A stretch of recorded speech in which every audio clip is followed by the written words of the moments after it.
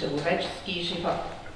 Това е екземпляр, който виждате, с който разполага Националната библиотека Кирил и Методи. И виждате в горния край има едно посвещение библиотека на България. Подписът е от Атаназ, Атаназ Велчев.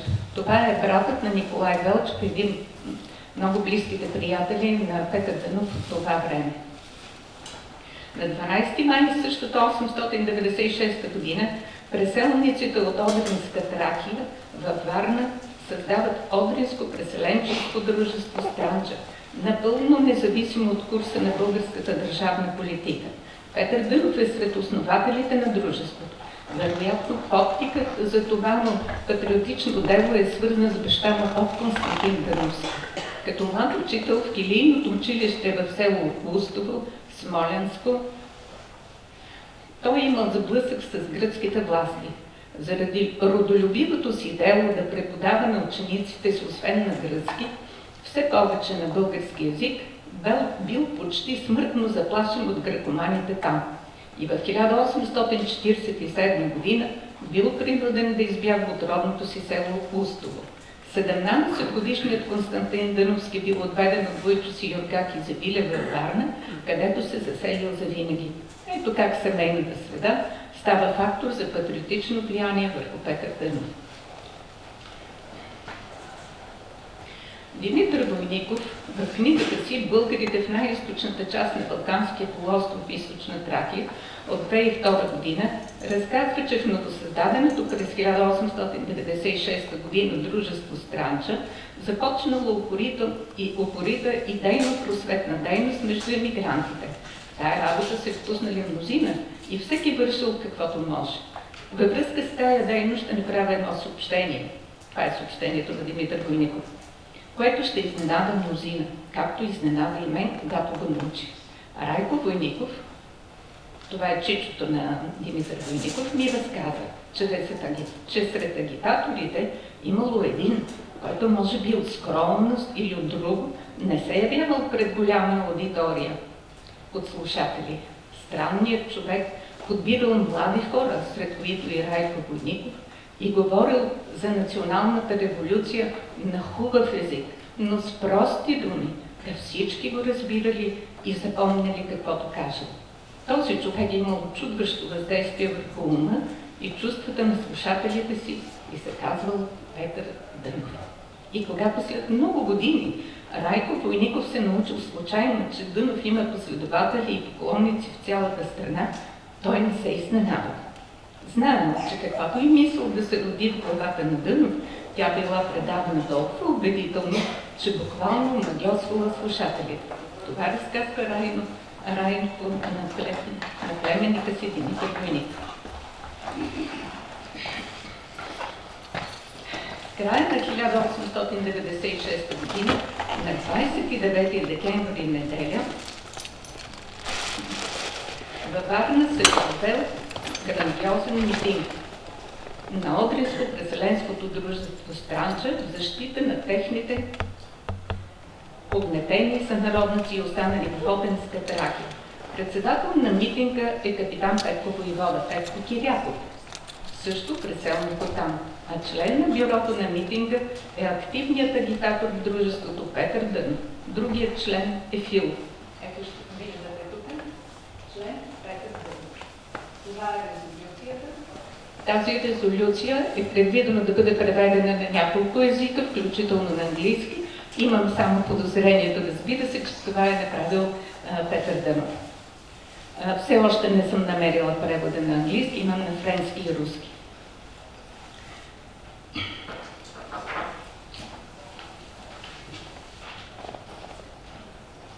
Но преди това, на 4 декември 896 г., в третия участък на Варна се учредява читалище Петко Рачев Славейков.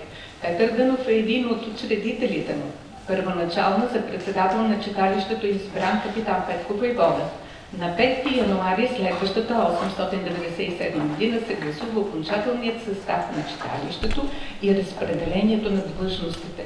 Тогава председателството поема известният културен деятел адвокатът Кръстомирски. касиер е капитан Петко Войвода, а за библиотекар домакин е избран Петър Дънов. За мен беше голям шок, когато 2004 година намерих този е, отчет. По-скоро ми го предоставиха колеги от библиотеката. Той сложи началото на моята издавателна дейност, за която съм безкрайно благодарна. Затова започва бурен читалищен живот за повдигане духовния и културен уровен на варненци. Вдъхновението у видните членове на читалището, сред които и е и Петър Дънов, е голямо и те започват да изнасят в неделните дни образователни сказки пред населението. През тази важна за нас 1897 година Петър Дънов ще изнесе три сказки. Първата е на 18 май с заглавие Произхождението на човека. В читалището той ще работи до първите месеци на 1899 година. През 1897 година Петър Дънов, заедно с идналия доктор Георги Миркович, Анастасия доктор Желяскова, Васил Козлов и други духовни съидейници учредяват във Варна общество за повдигания религиозния дух на българския народ. По-късно, през 1907 година, станала основа за оформянето на веригата на Божествената любов, преименувана през 1920 година в самието Бяло братство. Най-вероятно, гореспоменатите основатели на обществото са членове на съществуващия по това време във Варна спиритически кръжок, така се е наричал на времето, в който Петър Дънов е ден и вещ участник. Смятам, че под негово влияние, тъй като хора от интелектуалния елит на Варна си поставят вече по-висши, по-идеалистични цели, най-висшата от които е именно повдигане религиозния дух на цял един народ. Спиритическите сеанси започват да се използват освен за търсене на отговори от висшите духове по лични въпроси, но и за, но и за допитване основно по съдбините на България, за която те милеят. Сега, нека да обобщим обществената ангажираност на Петър Дънов в първите години след завръщането му от Америка. Виждате, на 5 ноември 1995 е скашчик. През 895 е вече участник в спиритическите сеанси. Кръжок. На 12 мая 1996 е учредител на дружество Странч. От май до декември 1996 е агитатор активен агитатор в дружество Странч. На 4 декември 1996 е учредител на читалище Славейков. На 29 декември 1996 е член на бюрото на митинга на дружество Странч. На 5 януари 1997 е избран за библиотекар домакин на читалище Славейков. През 1997, не знаеме точно кога, е учредител на общество за повдигание религиозния дух на българския народ. Приведох тези неопровержими документални доказателства за обществената деятелност на Петър Дънов, за да коригирам спомените на някои негови последователи. Те твърдят, че след завръщането си от Америка, той две, три, да даже пет години се е отдал само на уединение, самота, размишление, съзерцание и молитва и не е правил нищо друго. И семейството му търпяло критика, че той не работи. Още през 1884 година, пред прага на смъртта, по време на тежкото си полетуване, за което вече споменах, 19 годишният тогава Петър Дънов се е покаял и помолил Бог за прошка. Дал обед, че ако оздравее, завинаги ще следва и свидетелства за Исуса Христа.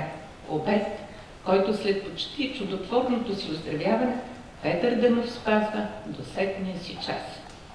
А тези духовни дейности, поединението, молитвата, съзерцанието, размишлението са неотменима практика за една дълбоко духовна личност, каквато е той.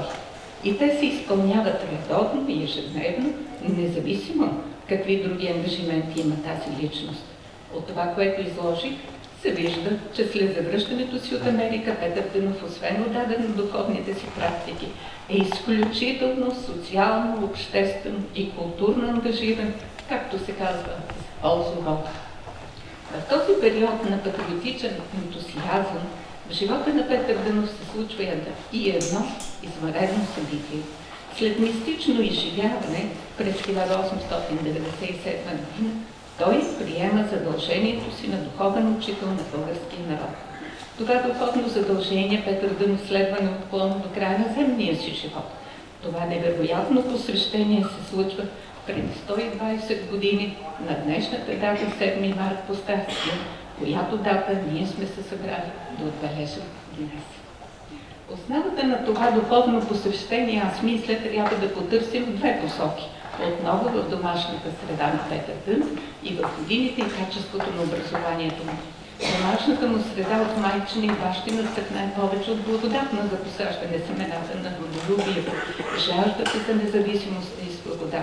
Баща му поп Константин Дъновски дядо му Атанас Георгиев, баща на майка му Добра, са образец на непримирими борци за независима българска екзархия от гръцката патриаршия. Дядо му оставя дом и семейство и заминава за Цариград и там пет години до смъртта си през 1865 година твърдо устои в очакване на Фермана, с който да получи българската църква своята независимост. Не дочаква Фермана дядо му Атанас. Но Петър Дънов има примера за любов към род, родина, свобода и духовна независимост. Тези борби за църковна независимост, подплатени от самочувствието на един народ със славно и древно минало. И когато в Америка Петър Дънов изнася концерти със своята цигулка и свири български народни мелодии, не пропуска да разказва за милото си древно и красиво отечество. Знаем от американската прес за два такива концерти. И по време на проповедите, които държи там, също говори за тогавашното положение в България. В семейството на почет е и духовната култура. Както сам Петър Дънов признава през 884 година, баща му му е чел духовни книги. Следователно, любовта към книгите или особено духовните е заложена още от ранната му младост. В младите му години е посята и друга любов, любовта му към музиката. Баща му Бог Константина имал чудесен глас, заради който едва пристигнал във Варна през 1847 година, бил ангажиран за певец в една от гръцките църкви в града. Освен това, баща му е бил дълги години учител в Устово и в родното село на Петър, Федърча Варненско. Посята е още една любов, тази към учението и преподаването. В такава, силно ангажирана с народните дела семейна среда се ражда и израства Петър Дънов. 17-те години обучение на Петър Дънов вече ги представя. След толкова години натрупане познания у нас и особено в Америка, на 30 години Петър Дънов се завръща оттам, оформил се вече, както споменах преди малко, като изключително еродирана за времето си личност, с многостранни, широки интереси и нови духовни търсения, по-дълбоки и различни от преподаваните му защото той упорито се е самообразовал в Америка. Имаме сведения от годишниците на семинарията Дрюя Богословски, че имал право да избира допълнителни дисциплини, които са му били интересни. Освен стара и древна история, история на християнството и методизма, той се е запознал с много древни и съвременни духовни езотерични течения и философии, които оформят постепенно неговия мироглед мироглед, който явно не съвпада с обществените очаквания Петър Дънов след завръщането си в България да стане методистски проповедник, както вече споменах. И така, и той упорито търси своя път в пътя на духа. Приема поверената му от духа мисия, в това физическо тяло, да бъде духовен учител на българския народ, мисия изпълнена от Петър Дънов до край и с чест. Но за датата и мястото на това интимно духовно изживяване имаше доскоро безброй неясноти. Публичното пространство, на базата на спомените на възрастните братя и сестри, доскоро се пишеше и говореше за дати. 3 март 1897, 9 март 1897, 7 март 1898 и 7 март 1897 година. Последните години се наложи за дата на мистичното посвещение 7 март 1997, а за място село Тетово Русинско. Дали е така? Личната ми теза е датата е 7 март 897, а мястото на събитието Варна. Какви са основанията ми? В тефтерчето на Петър Дънов намерих едно единствено място, където той споменава село Тетово. В лекциите си никога не е споменавал това село, поне аз не съм намерила.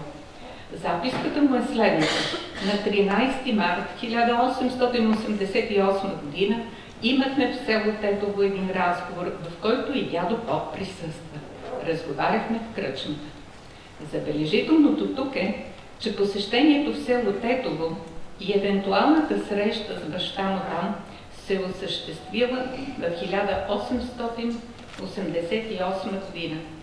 Девет години по-рано от 1897. Виждате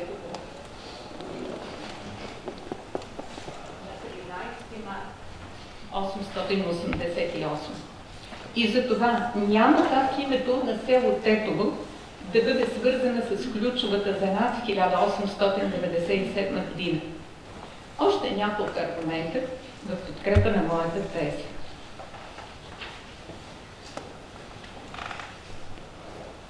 За датата 7 март 1897 година Мария Тодорова, преда на учението сестра, разказва в поредицата Изгрева, том 5 от, от 996 година. На страница 465 тя споделя. Учителят лично ми е показал своето тефтерче, в което той собственоръчно бе написал, че Божественият дух слиза върху него на 7 март 1897 година в Старствил. Така че новораждането на учителя чрез духа започва от тази дата. За същата тази дата, ето какво е записала на 20 март 1923 година. Вторник, в бележника си, другата близка и предана на учителя Петър Дънов духовна ученичка, Савка Кирамичиева. Той е доверен от Петър Дънов на Савка и е записан от нея на стенография в бележника й. Виждате ли се добре стенография? Виждат се и датите, доколкото. Так, добавила е, че това се е случило на улица Лополаченска номер 66 в София, където от 906 до 926 година Петър Дънов живее и често държи беседи там. Както виждате, записът на Савка Керемечиева на стенография е върху запазен документ от 1923 година.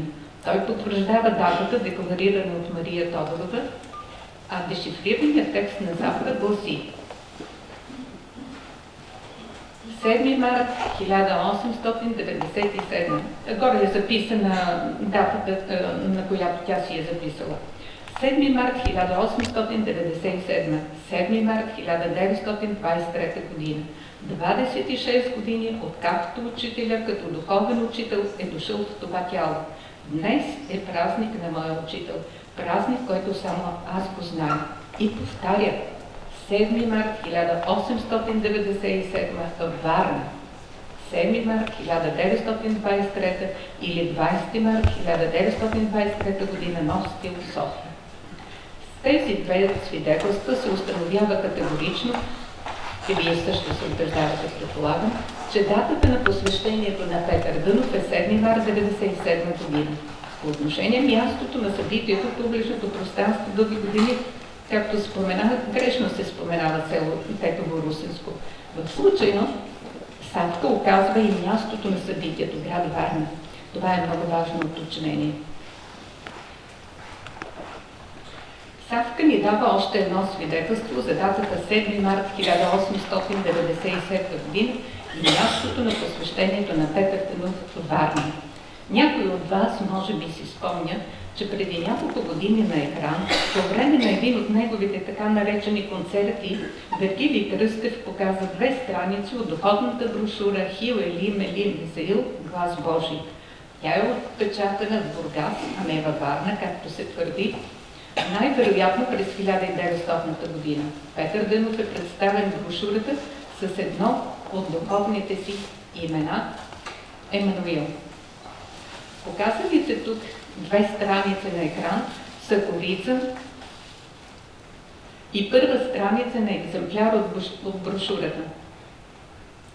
Аз съм приготвила този монтаж, за да ви демонстрирам какво представляваше оригиналната страница, която беше показана на екран. Най-долу на корицата, виждате, Сапка се е подписала с Аверуни. Това е духовното име, дадено от Петър Дъмър. Над него ръкопис 1897-Варна. А най-горе на първа страница на брошурата, това е на корицата, на следващата първа страница, тези, които са отстрани не виждат добре, а, а най-горе на първа страница на брошурата Савка в хоризонтален ред е написала емоционално и с преклонение. 1897 свята, пророческа. Във вертикална посока отново в горната част на страницата Савка е повторила почти същата фраза. Година 1897 свята, пророческа.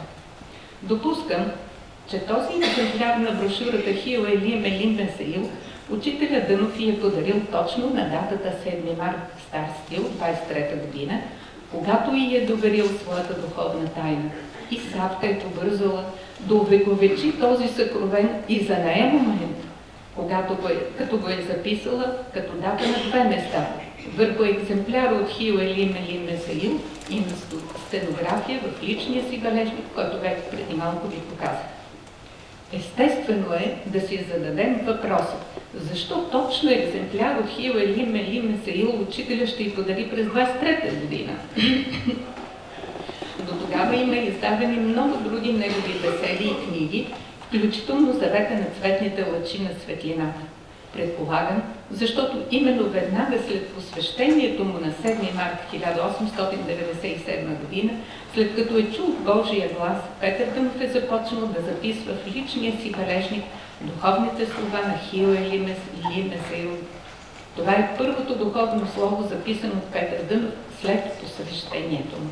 Духът му го диктува за 5 месеца, от март до 19 юли 1897 година.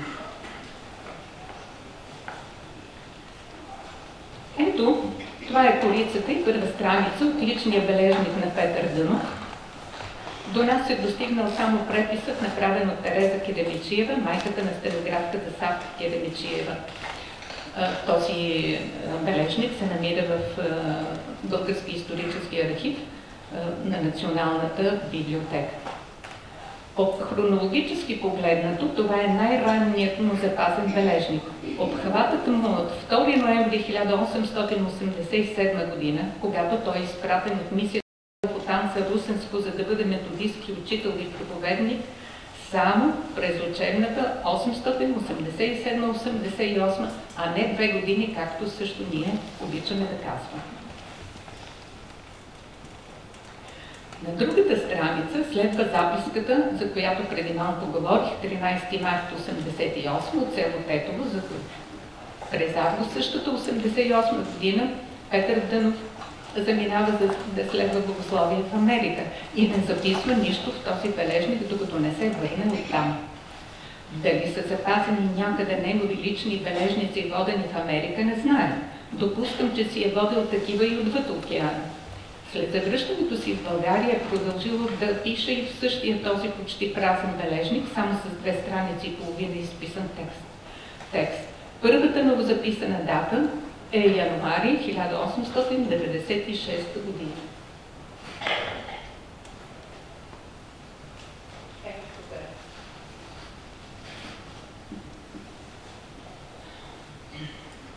Вероятно става дума за 1 януари 1996 година. Последната дата в бележника му е от 11 марта 1999, както вече ви споменах. Както виждате, хронологичният обхват на бележника е почти 12 години. Последните редове от страница 3, според мен са въвеждащ текст. Той се намира в долния край и гласи Верни и истинни са Божиите думи за всяко приемание. Те са вечна и непоколебима твърдина, любов непрестанна, сила неизтощима. Следва датата.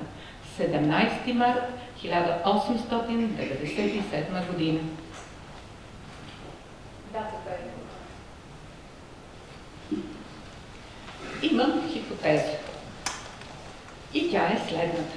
Дали датата наистина е 17 март? Да не би да е 7 март. Датата на посвещението на Петър Дънов, която дата често ме спочва днес, защото ако си спомняте Мария Тодорова казва, че той показал бележника, в който датата била 7 марта. Да не би Тереза Керамичиева да не е разчела добре датата и да е добавила една единица отпред, можем да допуснем и такъв вариант. Защото от опита, който имам с ръщите на бележниците на Петър Дънов, случва се от време на време старателната немкиня Тереза Керамичиева да допуска правописни и други неволни грешки. Моята хипотеза, разбира се, не променя значимостта на записаното от Петър Дънов, даже да е с начална дата 17 марта 1997 година. Това е хипотезата. На гърба на страница трета има една вметка с по-късна дата. Това е съседната.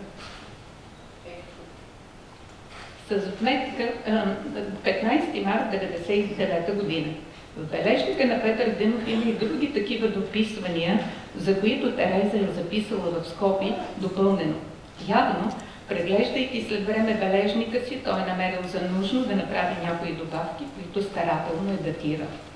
Изобщо учителя обича да си датира неща. И в неговата Библия има много дати. А след тази вметка, виждате в ръкописа, започва текст с заглавие Тайните на духа.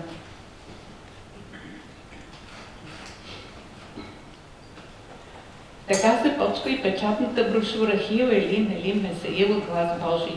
След това и на двете места, в ръкописа и в брошурата, текстът е почти един и същ. Разбира се, има редакция.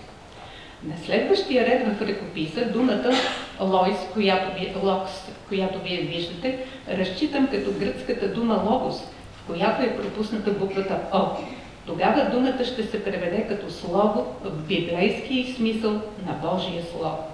Защото струва ми се най-логично е, след като Петър Дънов е вече новороден от духа и посветен, той да стане отворен канал за това съкровено Божие Слово и да започне да го записва, защото такава е повелята на духа, който говори с Петър Дънов. Този ред специално не е включен в печатното издание. Забележително е, че на корицата на брошурата Хил Ели Мели Месаир е поместен поетичен, неримован текст, нещо като бял стих. Той в по-късни години е редактиран и поетично обработен от други люде. Добавяне и припев. Това е първообразът на любимата ни днес песен «Любовта е извор». Диктувана е на Петър Дънов от духа, духа в периода 22 април 4 май 1897 година. Тя се оказва, може би, най-първия текст за негова песен и е свързана непосредствено с днешното честване. Разрешете да прочета този първообраз. Любовта е извор. Тя живота ражда. Нема тя вдъхта свята длъжност. Напред да върви. Напред да върви. Нагоре към доброто да се страни. Това тя върши непрестанно, като нежна майка в душата човеческа. Тя постоянно посажда скромни малки семена на благи чувства с благи добрини. Тази тайна, който разбира, той ще своята душа да остави, вечно да се полива от небесната утрена русица. А пък слънцето на живота, то ще опреме човека да озари и в душата му да повдигне и оплодотвори всички плодовити семена, истини и добрини. Благодаря за внимание.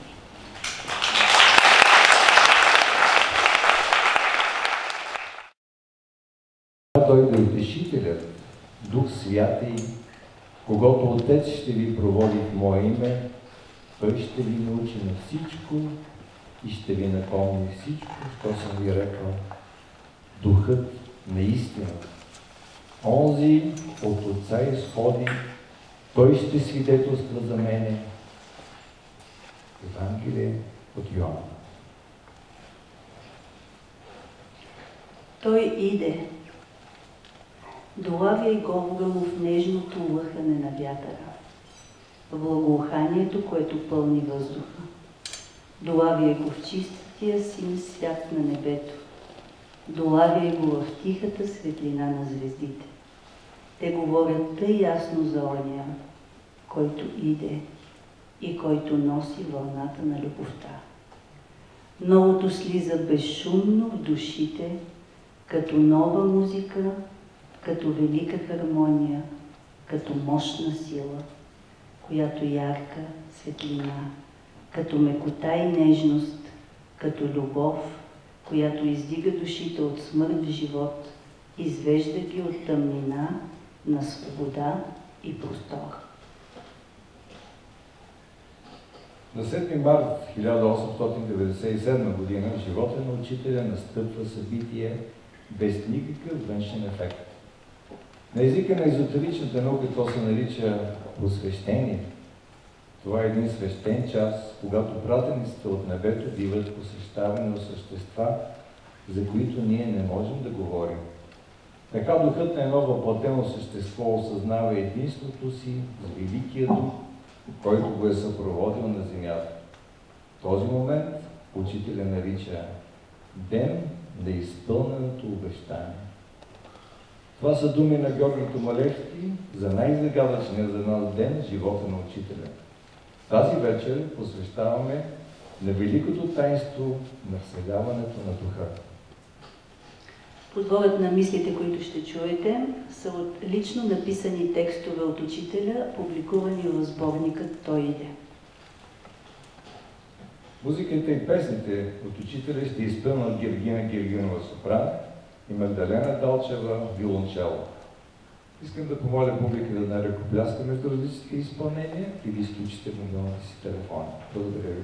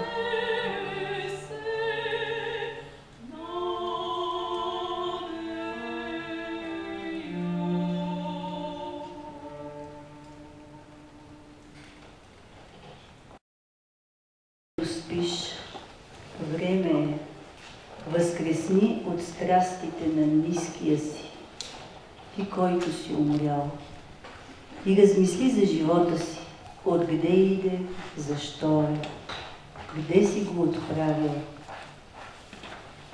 Лептата, която ти е дадена да принесеш за благото на ближния си, къде си я поставил. Ето, аз чакам на тайните врата на сърцето ти за отговор. Ти, който от сега ставаш мой, поверяваш всичко в моите ръце. От сега аз сам ще те ръководя. Сам ще помишлявам и ще уреждам всичко за теб. Аз ще те все, що трябва да вършиш. Ще лягаш и ще ставаш от моите крила. Аз ще бъда страж на тебе и окото ми ще биде съдбините на твоето сърце. Ще ме призовеш рано и ще ти отговарям в утрешните зари на зората. Преди да повикаш, ще ти отговарям и преди да пожелая, ще ти давам своите божествени дарования. Ще бодрствувам за всичките ти нужди. Гледай да не оскверняваш името ми. Знай, че от злото се отвръщавам, към неправдата не подувам, от жестокосърдечието се огорчавам. След всичко бъди винаги готов да изпълниш всяка заповед, която ти давам. Правило на живота ти ще бъде всичко да изпълняваш, за всичко да благодариш.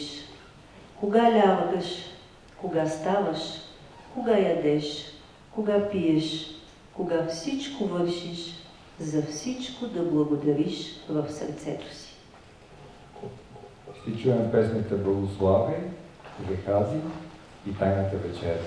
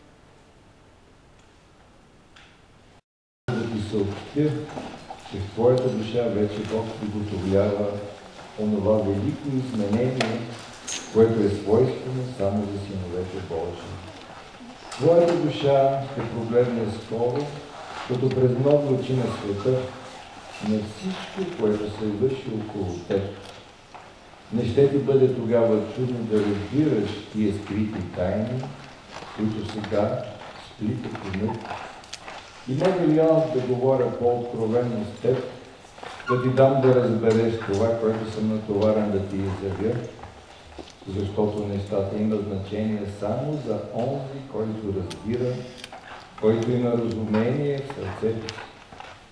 Не мисли, че небето е безчувствено към твоите усилия. Всяка стъпка, която ти взимаш нагоре и напред, радва всички там горе. Отвори сърцето си и дай място на Господа да влезе и да отвори напълно твоята душа. Достатъчно е времето, което е изминало в неразение, съмнение, двоумение, колебание. Сега е вече време благоприятно, ден избран и посветен Господу, ден, в който ти трябва да му служиш тъй, както не му е угодно. Това аз ще те науча и ще ти отворя път широк, да ходиш и да изпълняваш волята Господня. Виждам в теб думите много те смущават. Ти се много боиш от значения. Дръж съвестта си чиста и да те не смущава нищо. Земята е Господня и всичко, което е по нея, тогава, когато Бог не осъжда, никой друг не може да осъди. Аз днес ти говоря и да знаеш това и да го пазиш в сърцето си. Силата е от Бога и тя се показва в твоята немощ. Ще чуем песните Аум, Киамет Зену и вътрешния глас на Бога.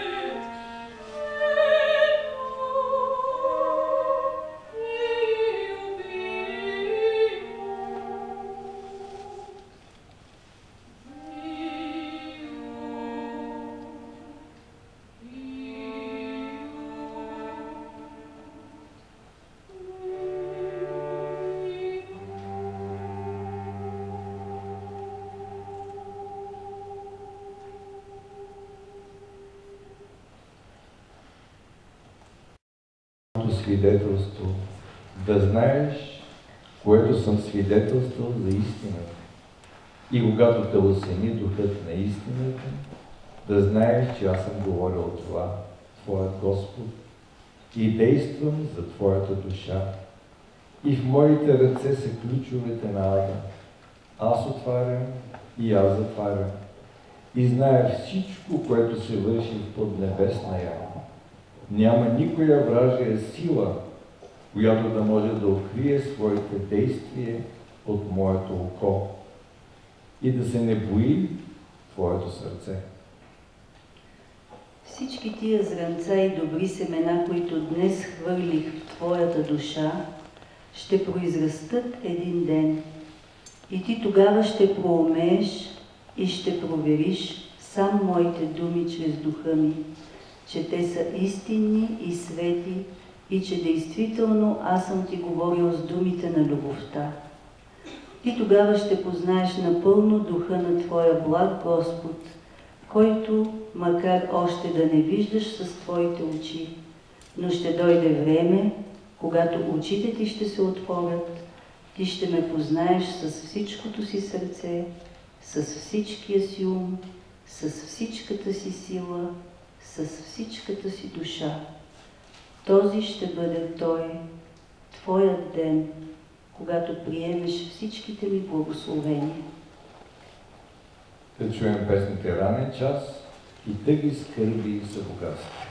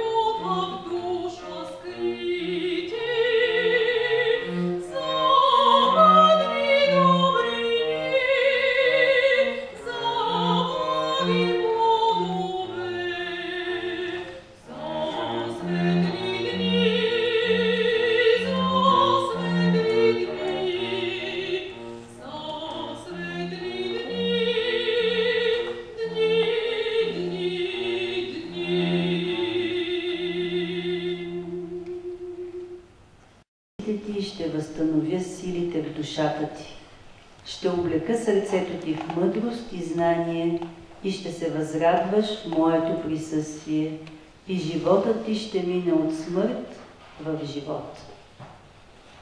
Там, където твоето сърце, където Бог ще напише с ръката си и сам ще го четеш.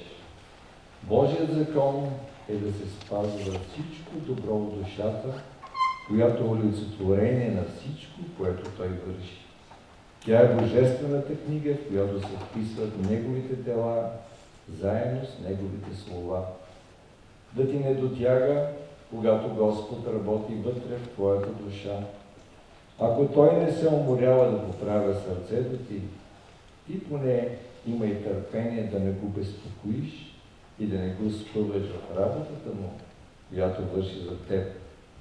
Не само това, но и съдействай за по-скорошното и привършване. Духът Божий запали се огънят.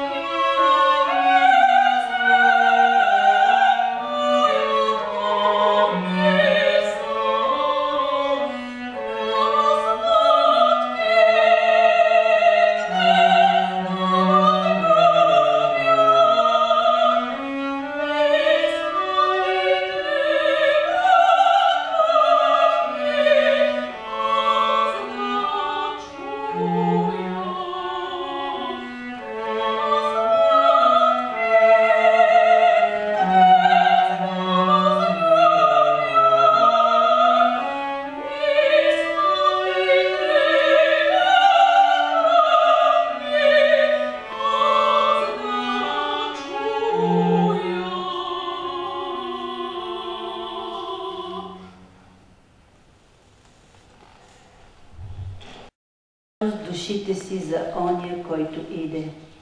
Запалете светилниците си. Облечете се със светлите дрехи на чистотата. Украсете се с злато и скъпоценни камъни, за да го посрещнете. Той иде и носи изобилни и скъпи дарове. Той иде. Ще чуеш гласът му. Той прилича на гласа на хилядострунна арфа, като глас на много води, на нежна песен. И като го чуеш, ще проблесне в теб светъл спомен. Този глас ти е тъй познат, тъй близък, тъй свой. И там, дето не е имало води, ще потекат буйни кристални извори. И изсъхналата лоза отново ще се раззелени и ще дава изобилен плод.